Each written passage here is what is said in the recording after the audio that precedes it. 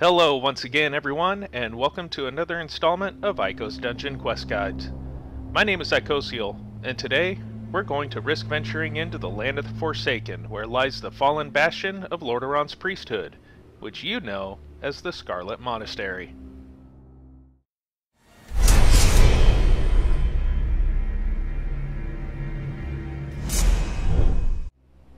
The Scarlet Monastery is one of the most popular mid-level dungeons in Classic WoW.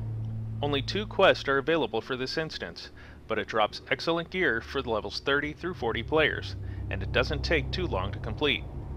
Located in the northeast of Tirisfal Glades, the Scarlet Monastery is a five-man dungeon appropriate for levels 30 through 42. Because the instance is split up into four sections, you will find that players of levels 30 through 35 are more suited for the graveyard and library, while players of levels 36 through 42 are a better match for the armory and cathedral. There is a class quest for the mage called Rituals of Power, and it is part of your class quest chain that you get at level 30. The book you will look for can be found here in the library of the monastery. Once you reach level 34, all quests for the Scarlet Monastery will become available. To begin, head on over to the Hall of Explorers in Ironforge and speak with the librarian Mae Paledust, who will offer you the quest Mythology of the Titans. You will be asked to find this book inside the monastery, and once complete, she will reward you with a green neckpiece.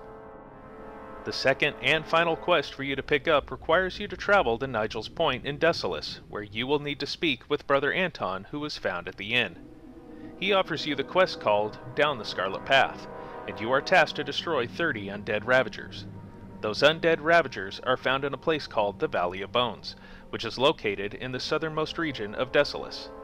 Finding a partner to help you kill the undead Ravagers makes things much easier, so be sure to ask around for help. When you turn in the quest, you will be asked to take a letter of commendation to Raleigh the Devout who is located in Southshore.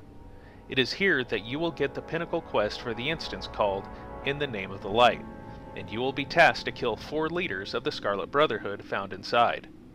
You will be rewarded with one of four rare quality items, which are a one-handed sword, a one-handed dagger, two-handed axe, or an offhand orb. You now have all the quests for the Scarlet Monastery, and are now ready to gather your group and head inside. If this is your first time in Scarlet Monastery, the armory and cathedral doors will be locked to you, and in order to get inside, you will need the Scarlet Key. That key is located behind the final boss within the library, which I will show you in a minute. The graveyard has no quest tied to it, but is often run by players who are searching for three rare spawns that drop very good loot. The rare spawns are called Azshir the Sleepless, Fallen Champion, and Iron Spine, and they will spawn in any of these locations.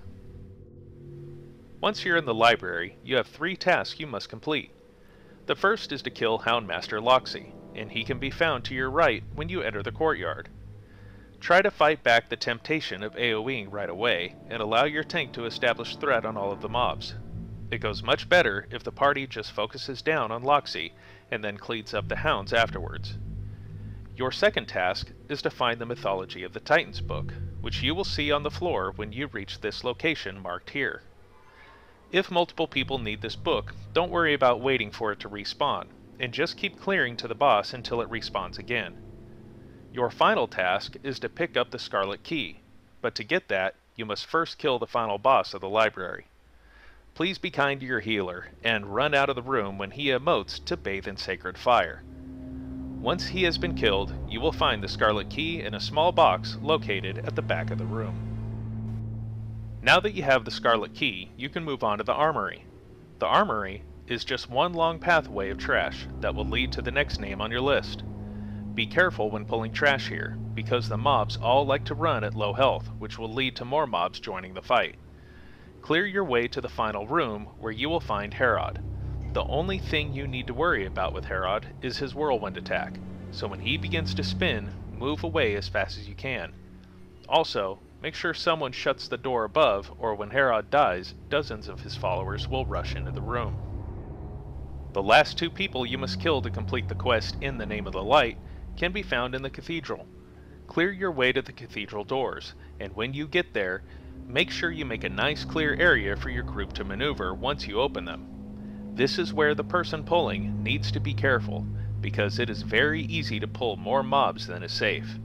Take your time, and make sure you kill every last mob that can be found inside the cathedral. And I do mean every mob that is inside. If you leave any alive and you attack Mograine, not only will you likely die, but you may also find yourself looking for a new group, because all of those mobs will join in on the fight. Don't forget about Inquisitor Fairbanks either, who is found in a secret room on the right. Just click on the torch to access his room.